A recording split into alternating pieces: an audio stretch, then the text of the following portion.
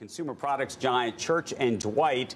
It has now found itself in the crosshairs of a short seller. Church and Dwight is, of course, the company behind many well-known brands, including Arm & Hammer, Trojan, and OxiClean. Last uh, Thursday, the firm Spruce Point Capital Management issued a 90-plus pages of uh, research questioning Church and Dwight's accounting practices, also its acquisition strategy. News of the report hitting the stock, helping to send shares down about 4% before they saw a bit of a rebound in the past 12 months, Church & Dwight stock has risen almost 30%. In a statement, uh, the company uh, told CNBC the following.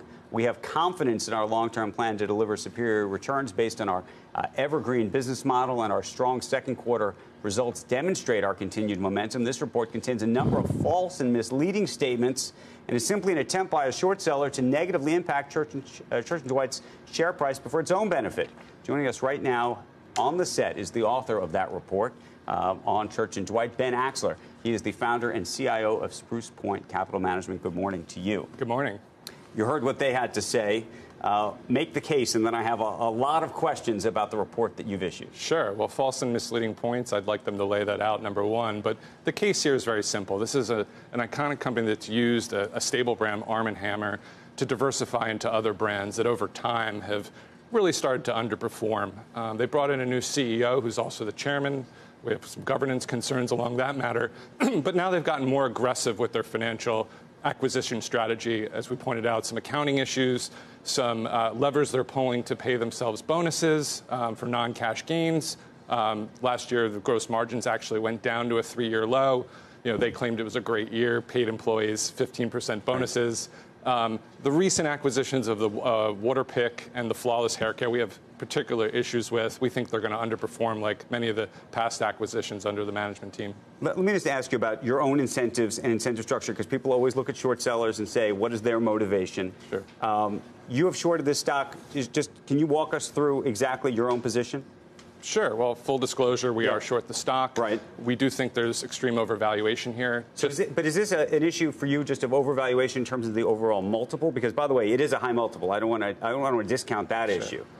That's part of the story, right? right? So our perfect short is we look for a company that's struggling, that's using aggressive accounting to make the numbers look better. We look for evidence of bad corporate governance. But in this case, as you pointed out, we have extreme overvaluation. Of the 19 analysts that cover the stock, only four are buy, and it's trading above the average analyst price target. Well, let me ask you, what do you think a fair price for this, this stock is?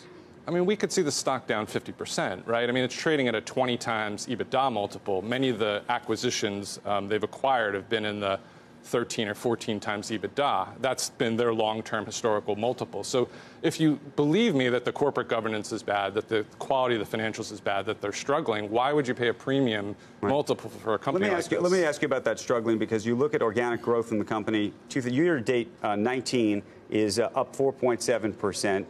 Uh, it is up 3.6 percent over the past decade, and that would be higher uh, than its average peer, the, the peer group, which was really about 2%.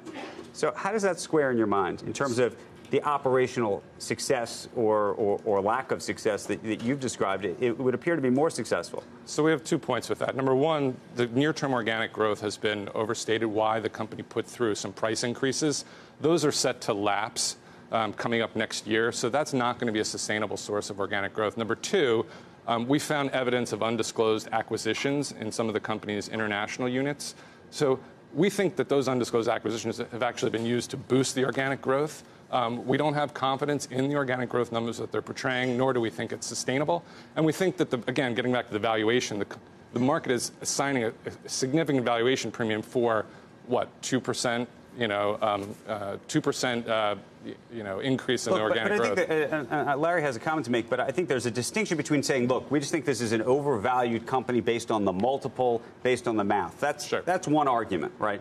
It's another to go with the accounting, to claim that the, the company is not operating the way they say they are, uh, to claim that there are governance issues, and so uh, maybe it's a stew or a mix of all of these things, but I, I think that people are trying to sort of make a distinction between them.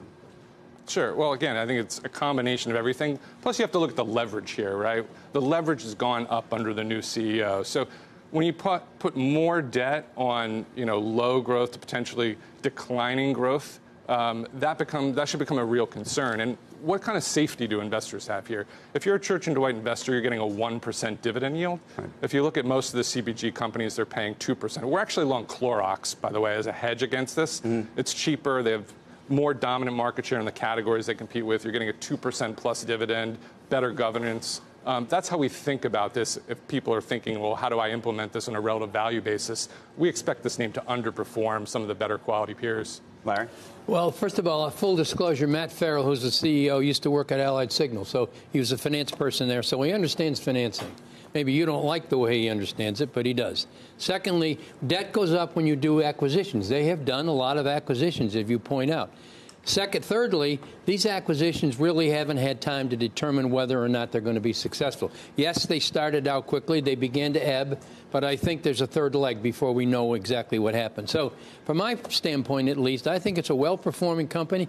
Your peers didn't agree with you in terms of other sh- uh, share owners in this. I noticed a lot of people who had different opinions, so uh, I'm wondering why you picked them as a target. Look, I think we picked them because we have real concerns about the financial performance, particularly the recent two deals. They bought a, a water flossing company. They paid a billion dollars. They paid five times what the private equity owners paid for it. They bought a flawless hair care product, which is an as seen on TV product. You can go into Dollar General and find it next to light bulbs for $15. We don't think these brands they're buying have real staying power. We think they're going to lose market share. We think they're commodity products with inflationary you know, product segments, and we think they're going to underperform. And now with more debt on top of lower quality acquisitions, we think investors need to be careful about owning this. Let me ask you one other question. You talked uh, about, or in the report, talked about what you think of as a slowing dividend. Um, but it looks like now they've, they've paid, first of all, there's a dividend they've been paying for over a century, but it looks like it increased by about 5% in 2019, which again is higher than, than the peer group. And I'm looking at PG&E and Reckitt and some of the others, all, all lower. And so hmm. that I'm trying, to, I'm trying to square these two sides of the story. Sure. Well, again, you know, a lot of people value stocks, dividend paying stocks, on a dividend growth model, right? And when the dividend growth rate is coming down, you know, the share valuation should come down. We think the Right. multiple should come down. We can't understand why the multiples expanded recently as it's become more evident that the cash flow is struggling. You know, one other point we have to raise here is the company just increased their, their AR factoring facility. That for us as short sellers has generally been a, a positive red flag in identifying companies that are struggling. You know, cash conversion cycles going down. Again, undisclosed acquisitions. We're seeing a lot of signs of strain here. And let's and a, and a final point, if I have to make one, is look at what the insiders are doing. They're constantly selling stock. Three directors just sold in the past two weeks at 79 $80 a share. I usually follow what insiders do, and that's a strong signal to me of why I'm short. Final question Have you talked to them? We've not heard from them. You know, our numbers open. If they, you know, they said there's uh, inconsistencies or challenges to some of our points, you know, we're happy to correct them if they can prove us wrong. Okay, maybe we'll, uh, we'll set up a lunch. Thank or you. maybe uh, something here right on Squawk Box. Appreciate it, Ben. Thank you for coming Thank in. you.